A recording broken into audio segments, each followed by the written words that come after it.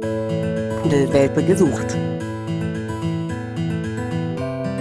Von privat abzugeben.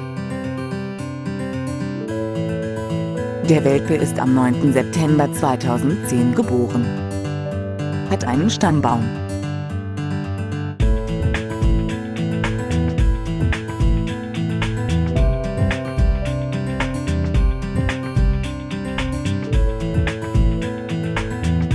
Rufen Sie uns an 072229202438. Besuchen Sie uns in Rastatt.